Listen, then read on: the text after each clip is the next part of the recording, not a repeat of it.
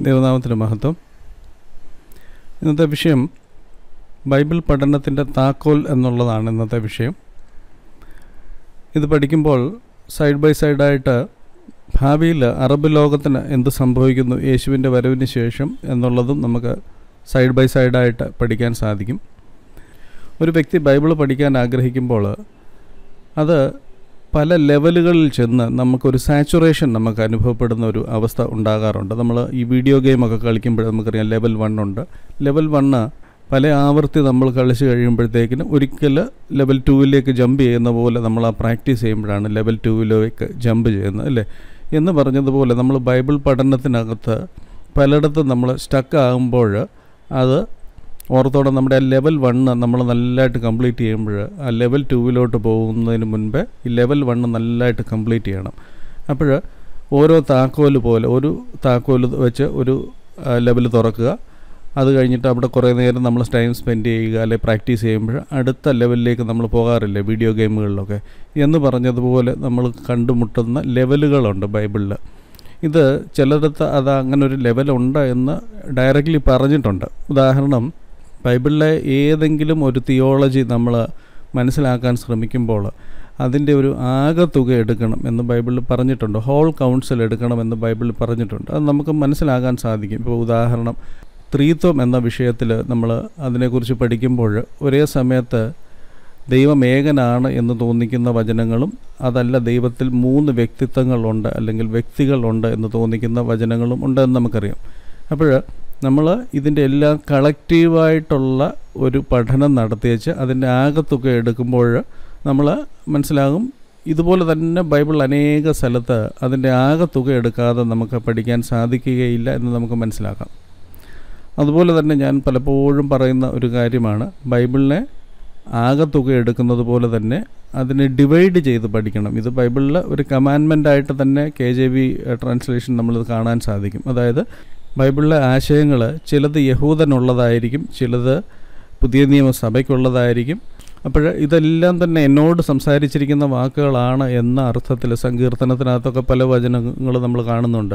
അവനെ പാറമേൽ അടിച്ചു കൊല്ലുന്നവൻ ഭാഗ്യവാൻ എന്നൊക്കെയുള്ള വചനം എടുത്തേച്ച് സ്തോത്രത്തോടെ ഏറ്റെടുക്കരുത്. അതെന്ന് ചോദിച്ചു കഴിഞ്ഞാൽ അതിനൊരു കോണ്ടെക്സ്റ്റ് ഉണ്ട്. യശയാപ്രവചന അൻപത്തിമൂന്നാം അധ്യായത്തിൽ യേശുവിനെക്കുറിച്ചുള്ള പ്രവചനത്തിന് അവൻ മഹാന്മാരോടുകൂടെ കൊള്ള പങ്കിടും. ഈ വചനം വായിക്കുമ്പോൾ ആർക്കാണത് അത് കോംപ്രിഹെൻഡ് ചെയ്യാൻ സാധിക്കുന്നത്? അപ്പോൾ അതിനൊക്കെ ഒരു കോണ്ടെക്സ്റ്റ് ഉണ്ട്.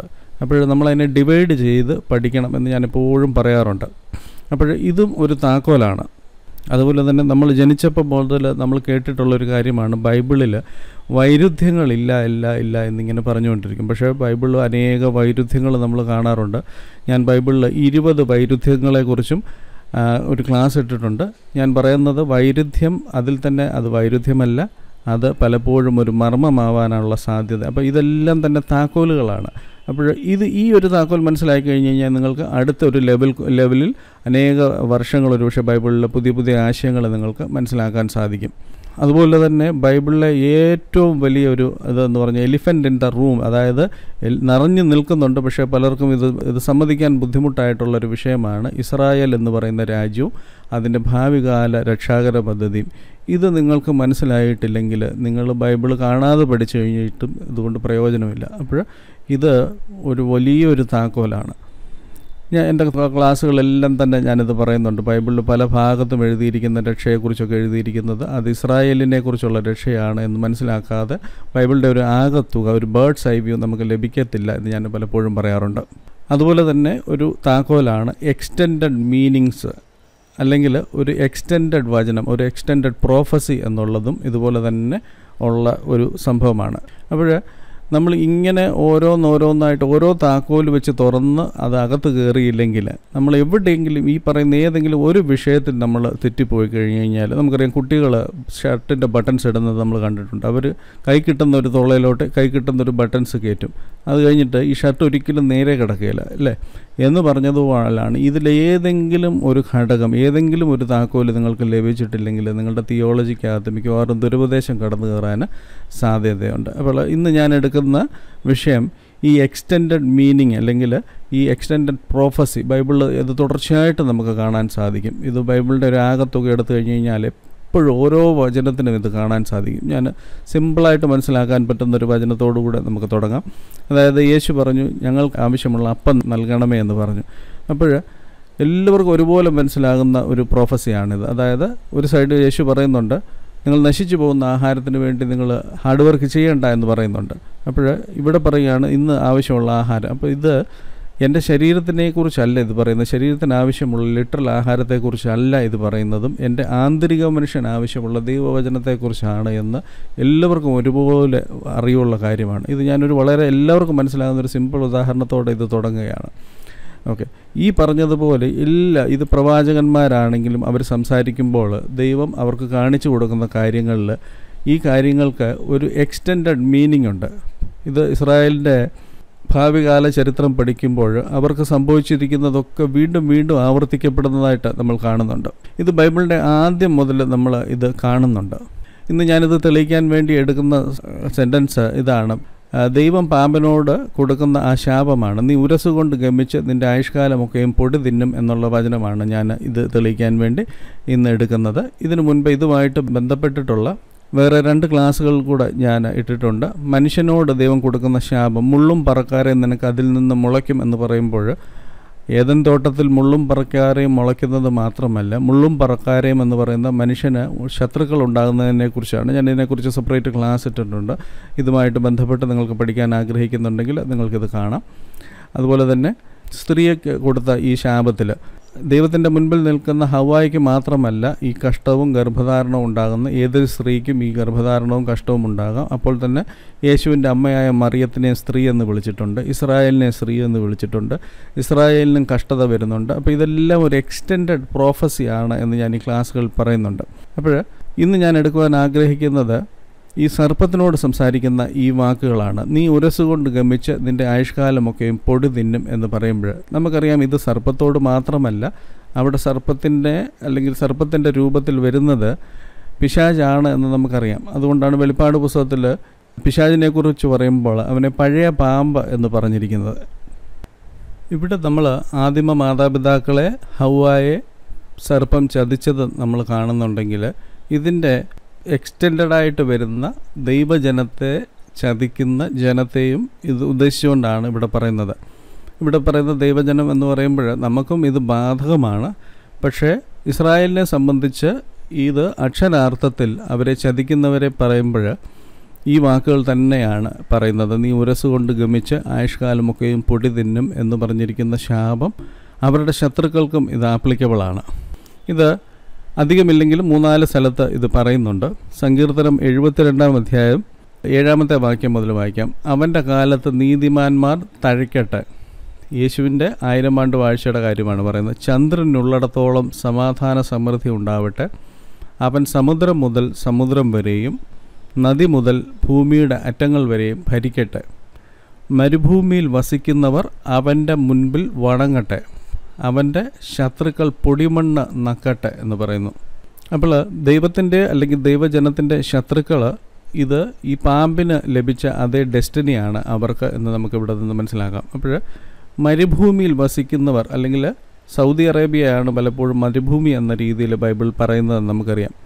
എനിമീസ് വിൽ ലിക്ക് ഡസ്റ്റ് എന്ന ഇംഗ്ലീഷിൽ എഴുതിയിരിക്കുന്നു. പല ട്രാൻസ്ലേഷനുകളിലും നൊബാദ്സ് എന്നാണ് പറഞ്ഞിരിക്കുന്നത്. നമുക്കറിയാം ആരാണ് ഈ നൊബാദ്സ് എന്ന് പറയുന്നത്? ഈ അറബി ഈ യാത്രാക്കൂട്ടം ആൾക്കാരെയാണ് നൊബാദ്സ് എന്ന് പറയുന്നത്. അപ്പോൾ ഇത് വളരെ വ്യക്തമായിട്ട് ബൈബിളിൽ ഒന്നും ഞാനൊന്നും രഹസ്യത്തിൽ പ്രസ്താവിച്ചിട്ടില്ല എന്ന് ബൈബിൾ അനേക സ്ഥലത്ത് ദൈവം പ്രഖ്യാപിക്കുന്നതായിട്ട് കാണാം. എല്ലാം ബൈബിളിലുണ്ട്. ആരാണ് ഈ സർപ്പത്തിനെ പോലെ ദൈവജനത്തെ ചതിക്കുന്നത് എന്ന് ചോദിച്ചു കഴിഞ്ഞാൽ മരുഭൂമിയിലെ ജനമാണ് എന്ന് വളരെ വ്യക്തമായിട്ട് പറയുന്നുണ്ട്.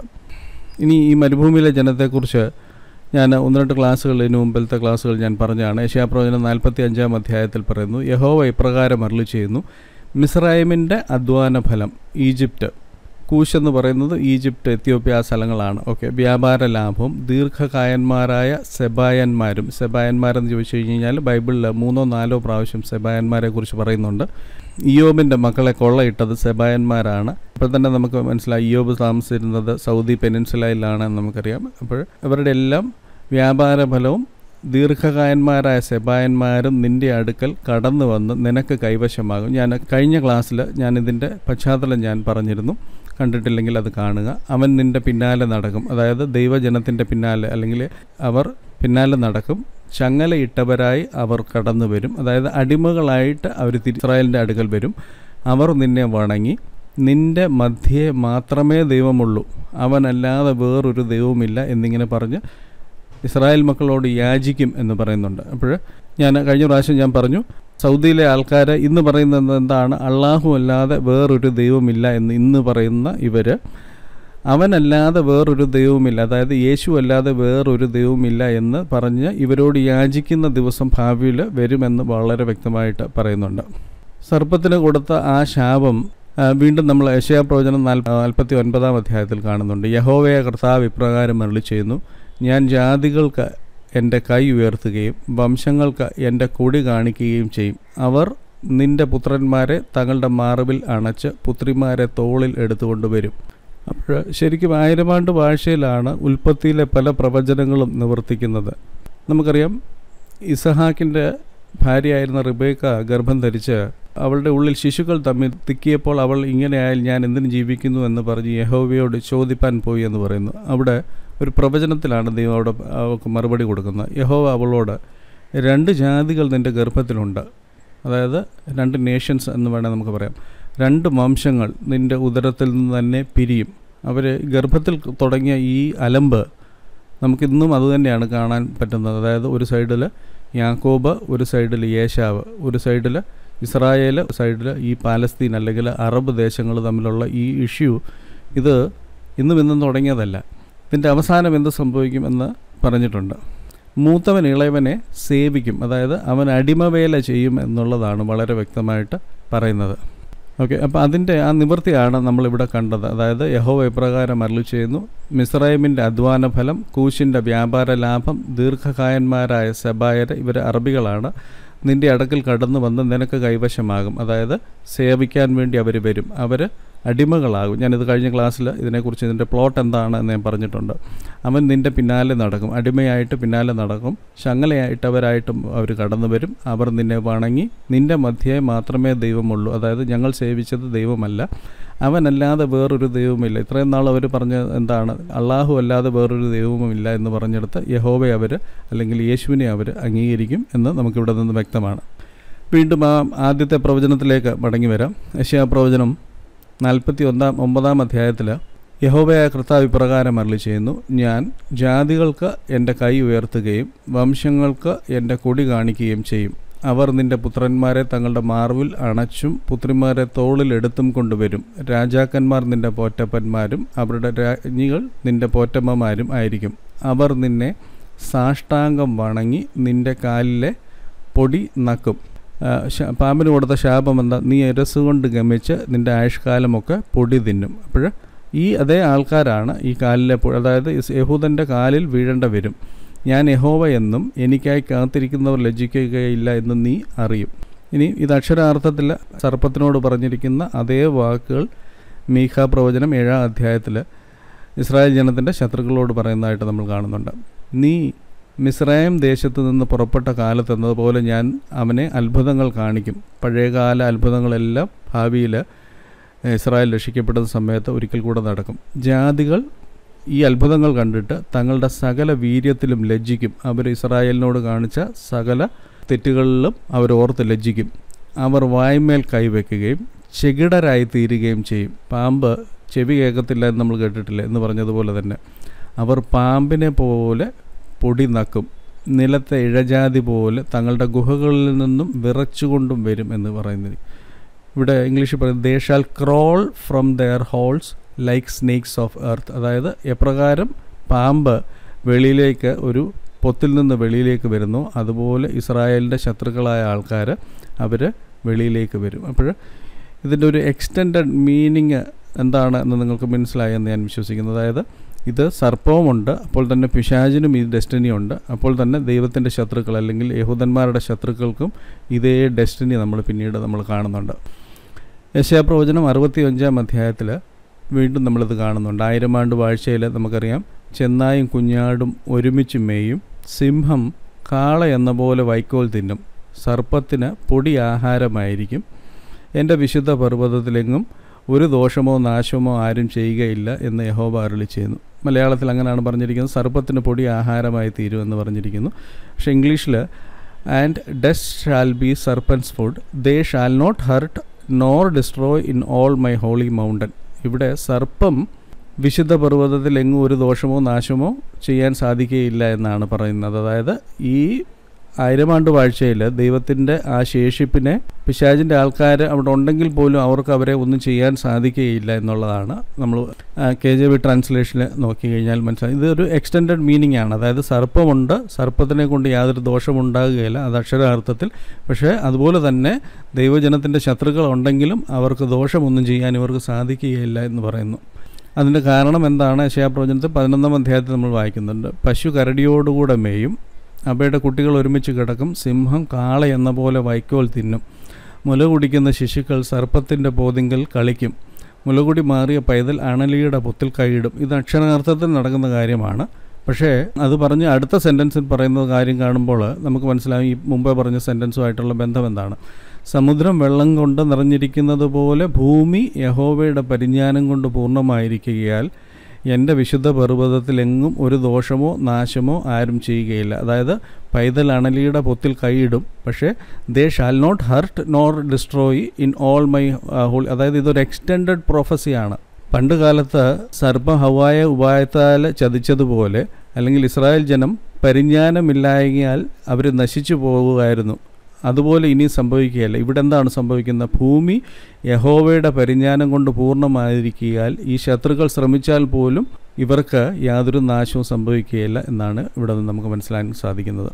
അപ്പോൾ നിങ്ങൾക്കിത് മനസ്സിലായെന്ന് വിശ്വസിക്കുന്നു. അതായത് ഞാൻ മുമ്പേ കാണിച്ചതുപോലെ ഇതൊരു എക്സ്റ്റെൻഡഡ് പ്രോഫസിയാണ് സംസാരിക്കുന്നത് പാമ്പിനോട് അല്ലെങ്കിൽ സർപ്പത്തോടാണെങ്കിലും ഇത് ദൈവജനത്തിന്റെ ശത്രു ശത്രുക്കളായ ഉള്ളവർക്കും ഈ ശാപം ആയുഷ്കാലമൊക്കെയും പൊടി തിന്നുമെന്നുള്ള ശാപം അവർക്കാണ് പിന്നീട് ഭാവിയിൽ ഇത് സംഭവിക്കുന്നത്. അത് അത് മരുഭൂമിയിലുള്ള ജനമാണ് എന്ന് നമ്മൾ കണ്ടു. ഇനി ഇതുപോലുള്ള വേറൊരു വചനം ഞാൻ നിങ്ങൾക്ക് കാണിച്ചു തരാം. ഫറവോ ഈജിപ്തിൽ നിന്ന് ചെങ്കടലിൽ അവരെ പിന്തുടർന്ന ആ കഥയും നമുക്ക് സുപരിചിതമാണല്ലോ. ഫറവോയൊക്കെ അവർ മുങ്ങിപ്പോകുന്ന ആ സന്ദർഭം അത് കഴിഞ്ഞിട്ട് പതിനാലാം അധ്യായം കഴിഞ്ഞിട്ട് പുറപ്പാട് പതിനഞ്ചാം അധ്യായത്തിൽ വരുമ്പോൾ അവർ സന്തോഷത്താൽ മോശയും ഇസ്രായേൽ മക്കളും അന്ന് യഹോവയ്ക്ക് സങ്കീർത്തനം പാടി ചൊല്ലിയത് എന്തെന്നാൽ ഞാൻ യഹോവയ്ക്ക് പാട്ട് പാടും അവൻ മഹോന്നതൻ. കുതിരയെയും അതിന്മേൽ ഇരുന്നവനെയും അവൻ കടലിൽ തള്ളിയിട്ടിരിക്കുന്നു എന്ന് പറയുന്നു. ഇതാരെക്കുറിച്ചാണ് പറയുന്നത്? ഫറവനെ കുറിച്ചാണ് പറയുന്നത് നമുക്കറിയാം. അത് കഴിഞ്ഞിട്ട് മുൻപോട്ട് വായിക്കുമ്പോൾ ഒൻപതാമത്തെ സെന്റൻസിൽ ഞാൻ പിന്തുടരും. ഇത് ഫറവ പറഞ്ഞ വാക്കുകളാണ്. പിടിക്കും കൊള്ള പങ്കിടും എന്റെ ആശ അവരാൽ പൂർത്തിയാകും ഞാൻ എന്റെ വാൾ ഊരും എന്റെ കൈ അവരെ നിഗ്രഹിക്കുമെന്ന് ശത്രു പറഞ്ഞു. നിന്റെ കാറ്റിനെ നീ ഊതിച്ചു കടൽ അവരെ മൂടി അവർ ഈയം പോലെ പെരുവെള്ളത്തിൽ താണു. ഇതൊക്കെ നമുക്കറിയാം. യഹോബെ നീ ദേവന്മാരിൽ നിനക്ക് തുല്യൻ ആർ. വിശുദ്ധിയിൽ മഹിമയുള്ളവനെ സ്തുതികളിൽ ഭയങ്കരനെ അത്ഭുതങ്ങളെ പ്രവർത്തിക്കുന്നവനെ നിനക്ക് തുല്യൻ ആർ. നീ വലങ്കൈ നീട്ടി ഭൂമി അവരെ വിഴുങ്ങി. ആ അതെങ്ങനെ അതെപ്പോഴാണ് സംഭവിച്ചത്? നമുക്കറിയാം ഈ ഫറവോന്റെ സൈന്യം വെള്ളത്തിൽ മുങ്ങി മരിച്ചു എന്ന് നമുക്ക് വളരെ വ്യക്തമായിട്ട് അവിടെ നിന്ന് മനസ്സിലാകാം. ഇങ്ങനെ യഹോവ ആ ദിവസം ഇസ്രായേലിലെ മിസ്രൈമരുടെ കയ്യിൽ നിന്ന് രക്ഷിച്ചു എന്ന് മാത്രമല്ല മിസ്രൈമിൽ കടൽക്കരയിൽ ചത്തു കിടക്കുന്നത് ഇസ്രായേൽ കാണുകയും ചെയ്തു എന്ന് എഴുതിയിരിക്കുമ്പോൾ ഇവിടെ പറയുകയാണ് നീ വലങ്കൈ നീട്ടി ഭൂമി അവരെ വിഴുങ്ങി എന്ന് പറയുന്നു. ഇവിടെ എന്തോ അപാകതയില്ലേ? ഒറ്റ അടിക്ക് വായിച്ച് നോക്കുന്ന ഒരു വ്യക്തിയെ സംബന്ധിച്ചിടത്തോളം ഇത് പ്രശ്നമായിട്ടേ തോന്നുള്ളൂ. പക്ഷേ ഇതിന്റെ ആ എക്സ്റ്റെൻഡ് മീനിങ് ഞാൻ ആദ്യം പറഞ്ഞ ആ ഒരു താക്കോൽ ഉണ്ടെന്ന് മനസ്സിലാക്കുന്ന ആൾക്കാർക്ക് ഇത് മനസ്സിലാകും. ഇത് ഭാവിയിൽ നടക്കുന്ന ഒരു സംഭവത്തെക്കുറിച്ചാണ് അവിടെ വെച്ച് പറയുന്നത്. നമുക്കറിയാം വെളിപ്പാട് പുസ്തകത്തിൽ ഈ യഹൂദന്മാർക്ക് പണ്ട് സംഭവിച്ചതുപോലെ തന്നെ ഒരു തനിയാവർത്തനം സംഭവിക്കും. അന്ന് മിസ്രൈമിൽ നിന്ന് അവർ പോന്നപ്പോൾ ഫറവോ അവരെ പിന്തുടർന്നതുപോലെ വീണ്ടും നമ്മൾ ഉൽപ്പത്തിയിലെ ചില ക്യാരക്ടേഴ്സിനെ വെളിപ്പാട് പുസ്തകത്തിൽ വീണ്ടും നമ്മൾ കാണുന്നുണ്ട്. സർപ്പമുണ്ട് സ്ത്രീയുമൊക്കെ നമ്മൾ വീണ്ടും കാണുന്നുണ്ട്. അപ്പോൾ സർപ്പം സ്ത്രീയെ ഒഴുക്കി കളയേണ്ടതിന് അവളുടെ പിന്നാലെ തന്റെ വായിൽ നിന്ന് നദി പോലെ വെള്ളം ചാടിച്ചു. എന്നാൽ ഭൂമി സ്ത്രീക്ക് തുടർന്നു മഹാസർപ്പം വായിൽ നിന്ന് ചാടിച്ച നദിയെ ഇതൊരു സൈന്യമാണെന്ന് മറ്റുള്ള ഭാഗത്തുനിന്ന് നമുക്ക് മനസ്സിലായി. ഞാനൊരു ഒരു ക്ലാസ്സിനെ കുറിച്ച് ഇട്ടിട്ടുണ്ട്. ഭൂമി വായു തുറന്ന് വിഴുങ്ങി കളയുന്നു എന്ന് പറയുന്നു. അപ്പോൾ ഇവിടെ പെരുവെള്ളത്തിൽ താണ ആ സംഭവം പറയുമ്പോൾ തന്നെ എക്സ്റ്റെൻഡഡ് ആയിട്ട് പറയുകയാണ് നീ വലങ്കൈ നീട്ടി ഭൂമി അവരെ വിഴുങ്ങി കളഞ്ഞു എന്ന് പറയുന്നു. അപ്പോൾ ആയിരം ആണ്ട് വാഴ്ചയ്ക്ക് മുൻപേ ഏഴ് വർഷത്തെ മഹോപദ്രവത്തിന്റെ സമയത്ത് ഈ ഒരു സംഭവം കൂടെ കൂട്ടിയാണ് ഈ പ്രവചനം ഇവിടെ പറഞ്ഞിരിക്കുന്നത്. ഒരു എക്സ്റ്റെൻഡഡ് പ്രോഫസിയാണ് മുൻപോട്ട് വായിക്കാം. നീ വീണ്ടെടുത്ത ജനത്തെ ദയയാൽ നടത്തി. നിന്റെ വിശുദ്ധ നിവാസത്തിലേക്ക് നിന്റെ ബലത്താൽ അവരെ കൊണ്ടുവന്നു. ഏത്? മരുഭൂമിയിൽ കൂടെ ഇസ്രായേൽ മക്കളെ കൊണ്ടുവരുന്ന കാര്യമാണ് പറയുന്നത്. ജാതികൾ കേട്ട് നടുങ്ങുന്നു. ഫെലിസ്തീയ നിവാസികൾക്ക് ഭീതി പിടിച്ചിരിക്കുന്നു. ഇത് ഇസ്രായേൽ ജനത്തെ മിസ്രൈമിൽ നിന്ന് കൊണ്ടുവന്നപ്പോൾ ഇതുപോലെ അന്ന് കനാൻ ദേശത്തുള്ളവരൊക്കെ ഭീതി പിടിച്ച് ഭയന്നതായിട്ട് നമുക്കറിയാം. പക്ഷേ ഇതുപോലെ തന്നെ ആയിരം ആണ്ട് വാഴ്ചയ്ക്ക് മുൻപേ യേശു മടങ്ങി വരുമ്പോൾ ഇവരെ രക്ഷിക്കുമ്പോൾ ഇതേ ആൾക്കാർക്ക് ഇതേ സംഭവം ഒരിക്കൽ കൂടെ റിപ്പീറ്റ് ചെയ്യുകയാണ്. എന്റെ കഴിഞ്ഞ ക്ലാസ് കേട്ടവർക്ക് ഞാനിപ്പോൾ എന്താ പറയുന്നതെന്ന് മനസ്സിലാകുള്ളൂ അന്നും ഇതുപോലെ തന്നെ ജാതികൾ നടുങ്ങുന്നുണ്ട്. ഫിലിസ്തീൻ നിവാസികൾക്ക് ഭീതി പിടിച്ചിരിക്കുന്നു. ഇന്നത്തെ ഫെലിസ്തീൻ എന്ന് പറയുന്ന ആരാണ് നമുക്കറിയാം. ഏതോമ്യ പ്രഭുക്കന്മാർ ഭ്രമിച്ചു സൗദി അറേബ്യ. മോവാബ്യ മുമ്പന്മാർക്ക് കമ്പം പിടിച്ചു. മോവാബ്യർ എന്ന് പറയുന്നത് ബേസിക്കലി ഇന്നത്തെ ജോർദാൻ. കനാന്യ നിവാസികളെല്ലാവരും ഉരുകിപ്പോകുന്നു. ഭയവും ഭീതിയും അവരുടെ മേൽ വീണു. നിൻ ഭുജമഹാത്മത്യ അവർ കല്ല് പോലെയായി അതായത് കല്ല് പോലെയായി പോവുക എന്ന് പറയുകയല്ലേ അവർ ഭയന്നു പോകും. അങ്ങനെ യഹോവെ നിന്റെ ജനം കടന്നു. നീ സമ്പാദിച്ച ജനം കടന്നുപോയി. ഇതെല്ലാം നമ്മൾ വായിക്കുമ്പോൾ മരുഭൂമിയിലെ പ്രയാണം കഴിഞ്ഞ് ഇസ്രയേലിലേക്ക് വന്നതാണ് എന്നാണ് നമ്മൾ വായിക്കുന്നത്. ശരിയാണ് അല്ലെന്നല്ല. പക്ഷേ ഇതിനൊരു എക്സ്റ്റെൻഡഡ് മീനിങ് ഉണ്ട്. നീ അവരെ കൊണ്ടുചെന്ന് തിരുനിവാസത്തിനൊരുക്കിയ സ്ഥാനത്ത് അതായത് എരിശിലേമിലോട്ട് പോയി എന്ന് കൂട്ടിക്കും. നിൻ അവകാശ പർവതത്തിൽ നീ അവരെ നട്ടു. കർത്താവെ തൃക്കൈ സ്ഥാപിച്ച വിശുദ്ധ മന്ദിരത്തിൽ തന്നെ യഹോവ എന്നേക്കും രാജാവായി വാഴും. ഞാൻ ചോദിച്ചോട്ടെ ഇവരെ അവിടെ കൊണ്ടുവരുന്ന സമയത്ത് മോശ കഴിഞ്ഞ് ജോഷുവായുടെ സമയത്താണ് അവരവിടെ ചെന്നത്. പക്ഷേ ഇവിടെ പറയുകയാണ് തൃക്കൈ സ്ഥാപിച്ച വിശുദ്ധ മന്ദിരത്തിലോട്ടാണ് ഇവർ ചെന്നതെന്ന്. അതെങ്ങനെ ശരിയാകുന്നത് അതിന് എത്രയോ നൂറ്റാണ്ടുകൾക്ക് ശേഷമാണ് ദാവീദിന്റെ മകനായ ശലോമോന്റെ കാലത്താണ് ഈ വിശുദ്ധ മന്ദിരം ഉണ്ടായത്. ഇവിടെ പറയുന്ന മന്ദിരം ഏതാണ്? തൃക്കൈ സ്ഥാപിച്ച വിശുദ്ധ മന്ദിരം. ഏതാണ് തൃക്കൈ? യേശുവിനെയാണ് തൃക്കൈ എന്ന് പറയുന്നത്. യേശു ഭാവിയിൽ ഒരു മന്ദിരം ഉണ്ടാക്കുമെന്ന് നമുക്കറിയാം. അപ്പോൾ ഇതുകൊണ്ട് ഇത് പറഞ്ഞു വരുമ്പോൾ ഇതങ്ങ് എക്സ്റ്റെൻഡഡ് പ്രോഫസിയാകാണ് പണ്ട് നടന്ന സംഭവങ്ങളെല്ലാം ഒരു വരാൻ പോകുന്ന സംഭവവുമായിട്ട് കൂട്ടിയിണക്കിയാണ് ഇവിടെ പറയുന്നത്. Sanctuary which your hands have establish ശലോമോന്റെ സമയത്തെ കാര്യത്തിലോട്ടല്ല ഇവരെ കൊണ്ടുവന്നത്. അപ്പോൾ ഇതിൽ നിന്നെല്ലാം ഒരു എക്സ്റ്റെൻഡഡ് മീനിങ് നമ്മളിവിടെ എല്ലാം കാണാൻ സാധിക്കുന്നുണ്ട്. ഈ പതിനഞ്ചാം അധ്യായം തുടങ്ങിയപ്പോൾ നമ്മൾ കണ്ടു കുതിരയെയും അതിന്മേൽ ഇരുന്നവനെയും അവൻ കടലിൽ തള്ളിയിട്ടിരിക്കുന്നു എന്ന് പറഞ്ഞു. ഇതാരെക്കുറിച്ചാണ് പറയുന്നത്? ഫറവോനെക്കുറിച്ച്. ഇനി വെളിപ്പാട് പുസ്തകത്തിൽ വരുമ്പോഴും ഇതുപോലൊരു വെള്ളക്കുതിരയുമുണ്ട് അതിന്മേൽ ഇരിക്കുന്നവനുമുണ്ട്. ആരാണിത്? എതിർ ക്രിസ്തു. അപ്പോൾ ഇതെല്ലാം പണ്ട് നടന്ന സംഭവങ്ങളെല്ലാം വരാൻ പോകുന്ന സംഭവത്തിന്റെ ഒരു നിഴലാണ് അല്ലെങ്കിൽ ഒരു എക്സ്റ്റൻഷൻ ഉണ്ട് എന്ന് നമുക്ക് ഇവിടെ നിന്ന് മനസ്സിലാക്കാം. ഇത് ബൈബിൾ വളരെ വ്യക്തമായിട്ട് ഞാനെപ്പോഴും പറയുന്നതുണ്ട്. പണ്ട് കാലത്ത് നടന്ന സംഭവങ്ങളുടെ ഒരു തനിയ ആവർത്തനമാണ് ഭാവിയിൽ നടക്കാൻ പോകുന്നത് എന്ന്. ജർമ്മ പ്രവചനത്തിൽ ഈ ഭാവിയിൽ നടക്കാൻ പോകുന്ന സംഭവത്തിന്റെ വലിപ്പം എന്താണ് എന്ന് നമുക്ക് മനസ്സിലാകത്തക്കവണ്ണ ഒരു വചനമുണ്ട്. ആകയാൽ ഇസ്രായേൽ മക്കളെ മിസ്രൈം ദേശത്ത് നിന്ന് കൊണ്ടുവന്ന യഹോവയാണ് എന്ന് പറയാതെ ഇസ്രായേൽ മക്കളെ വടക്കേ ദേശത്തു നിന്നും താൻ അവരെ നീക്കിക്കളഞ്ഞിരുന്ന സകല ദേശങ്ങളിൽ നിന്നും കൊണ്ടുവന്ന യഹോവയാണ് എന്ന് പറയുന്ന കാലം വരും എന്ന് യഹോവയുടെ അരുളപ്പാട്. ഞാൻ അവരുടെ പിതാക്കന്മാർക്ക് കൊടുത്ത ദേശത്തിലേക്ക് ഞാൻ അവരെ വീണ്ടും കൊണ്ടുവരും. അപ്പോൾ മിസ്രൈമിൽ നിന്ന് ദൈവം ഇവരെ നടത്തിക്കൊണ്ട് വന്നത് ഒരു കാലത്ത് ഇവർ മറന്നു പോകും അതിന് പകരം ഭാവി കാലത്ത് ഈ വടക്കേ ദേശത്തെ രാജ്യങ്ങളിൽ നിന്നും തെക്കേ ദേശത്തെ രാജ്യങ്ങളിൽ നിന്നും അവരെ വിടുവിച്ചുകൊണ്ട് വന്ന യഹോവയാണ് എന്ന് പറയുന്ന കാലം വരും. മനസ്സിലാകുന്നുണ്ടോ? ഇതെല്ലാം ഒരു തനിയാവർത്തനങ്ങളാണ് എപ്രകാരം പണ്ട് കാലത്ത് ചെങ്കടൽ ഭാഗിച്ച് ഒരു വഴി ഉണ്ടാക്കിയതുപോലെ ഭാവിയിലും ഇതുപോലെ ഒരു പെരുവഴി ഉണ്ട് എന്ന് നമ്മൾ കാണുന്നുണ്ട്. യഹോവ മിസ്രൈം കടലിന്റെ നടുവിന് ഉന്മൂലൻ നാശനം വരുത്തും. ഇത് ഭാവിയിലെ സംഭവമാണ്. അവൻ ഉഷ്ണകാറ്റോടുകൂടെ നദിയുടെ മീതെ കൈ ഓങ്ങി അതിനെ അടിച്ച് ഏഴ് കൈവഴികളാക്കി ചെരുപ്പ് നനയാതെ കടക്കുമാറാക്കും. ഇത് ഭാവിയിൽ നടക്കുന്ന കാര്യമാണ്. മിസ്രൈമിലെ പ്രവാസത്തിൽ പോയ ഇസ്രായേലിൽ തിരിച്ചു കൊണ്ടുവരുന്ന കാര്യമാണ്. മിസ്രൈമിൽ നിന്ന് പുറപ്പെട്ട നാളിൽ ഇസ്രായേലിന് ഉണ്ടായിരുന്നത് പോലെ അതായത് ചെങ്കടൽ ഭാഗിച്ച് ഒരു വഴി ഉണ്ടായതുപോലെ അശൂരിൽ നിന്ന് അവന്റെ ജനത്തിന് ശേഷിക്കുന്ന ശേഷിപ്പിന് ഒരു പെരുവഴി ഉണ്ടാകും. മനസ്സിലാകുന്നുണ്ടോ. അതായത് പണ്ട് നടന്ന എല്ലാ കാര്യങ്ങളും അതൊരു ചെറിയൊരു ഒരു ഒരു ഷാഡോ ആയിരുന്നു. ഇനിയും വരാൻ പോകുന്ന കാര്യത്തിന്റെ ഒരു വലിയ ഷാഡോ ആണ്. ഇസ്രായേലിന്റെ ജീവിതം പഴയ നിയമത്തിൽ നമ്മൾ പഠിച്ച് അത് അവിടെ കൊണ്ട് തീരുന്നില്ല. ഇത് ഈ പ്രവചന പുസ്തകങ്ങളിൽ പറഞ്ഞിരിക്കുന്നത് ഒരു മഞ്ഞുമലയ്ക്ക് എപ്രകാരം അതിന്റെ പകുതിയിലധികം താഴോട്ട് ഉണ്ട് അതുപോലെ തന്നെ ഈ എക്സ്റ്റെൻഡഡ് പ്രോഫസിയിൽ കൂടെ ദൈവം ഇസ്രായേലിനെ നമുക്ക് വരച്ചിട്ട് തന്നിരിക്കുന്നത്. ഇന്ന് നടക്കുന്ന ഈ സംഭവങ്ങളെല്ലാം അതിലേക്ക് ആണ് ചെന്നു ചേരുന്നത്. യേശുവിന്റെ വരവടുക്കുമ്പോൾ പണ്ട് എപ്രകാരം ഇസ്രായേലിലേക്ക് പ്രവാസത്തിൽ പോയ ഇസ്രായേലിനെ തിരിച്ചു കൊണ്ടുവന്നു. അതുപോലെ തന്നെ ഇവരെ ദൈവം തിരിച്ചു കൊണ്ടുവരുന്നു. അപ്പോൾ ഇന്ന് ഇസ്രായേലിന് മുന്നിൽ ചുറ്റും ശത്രുക്കളൊക്കെ നമ്മൾ കാണുമ്പോൾ ഈ വേദപുസ്തകം സത്യമാണ് എന്നും ദൈവം ഇസ്രായേൽ മക്കളെ ഒരു വില കൊടുത്തു. നമ്മുടെ രക്ഷയ്ക്ക് വേണ്ടി ഈ കാര്യങ്ങൾ നമ്മുടെ സാദൃശ്യമായിട്ട് നമ്മുടെ ഗുണീകരണത്തിന് വേണ്ടി ദൈവം എഴുതിയിട്ടിരിക്കുന്നു എന്ന് മനസ്സിലാക്കാൻ നമുക്ക് വളരെ എളുപ്പമാണ്.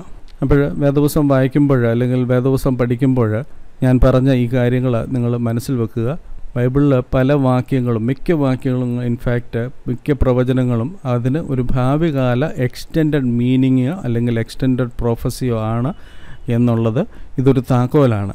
ഇത് മനസ്സിലാക്കി കഴിഞ്ഞു കഴിഞ്ഞാൽ ഞാൻ മുമ്പേ പറഞ്ഞതുപോലെ നമ്മൾ എപ്രകാരം വീഡിയോ ഗെയിം കളിക്കുമ്പോൾ അത് കുറേ പ്രാക്ടീസ് ചെയ്യുമ്പോൾ അതിന്റെ അടുത്ത തലത്തിലേക്ക് കയറി അവിടെ നമ്മളൊരു പക്ഷേ അടുത്തൊരു രണ്ടാഴ്ച കളിക്കുന്നു എന്ന് പറഞ്ഞതുപോലെ വേദപുസ്തകം നമ്മൾ വായിക്കുമ്പോൾ നമുക്ക് ഈ താക്കോലുകൾ ഉപയോഗിക്കുകയാണെങ്കിൽ വേദപുസ്തക പഠനം വളരെ ഇൻട്രസ്റ്റിംഗ് ആക്കാൻ സാധിക്കും. അല്ലായെന്നുണ്ടെങ്കിൽ നമുക്ക് വേദപുസ്തകം കാണാതെ ഒക്കെ പഠിക്കാൻ സാധിക്കും. പക്ഷേ അതിന്റെ ആ ദൈവം എന്താണ് അവിടെ ഉദ്ദേശിക്കുന്നതെന്നോ അല്ലെങ്കിൽ ദൈവത്തിന്റെ മനസ്സിലിരിക്കുന്ന എന്താണെന്നോ നമുക്ക് തിരിച്ചറിയണമെന്നുണ്ടെങ്കിൽ ഇത് ഈ രീതിയിൽ നമ്മൾ വേദവസം പഠിക്കണം. വെളിപ്പാട് പുസ്തകം എന്നൊക്കെ പറയുന്നത് ഈ നമ്മൾ കണ്ട മാരിയോ ഗെയിമിന്റെ പതിനഞ്ചാമത്തെ ലെവലാണ്. അപ്പോൾ അതിലേക്ക് ചെല്ലണമെന്നുണ്ടെങ്കിൽ ഈ താക്കോലുകൾ ഓരോന്നായിട്ട് നമ്മൾ ഉപയോഗിക്കണം. ഈ ക്ലാസ് നിങ്ങൾക്ക് അതിനുവേണ്ടി ബലപ്പെടുത്തും അതിനുവേണ്ടി പ്രയോജനപ്പെടുമെന്ന് ഞാൻ വിശ്വസിക്കുന്നു.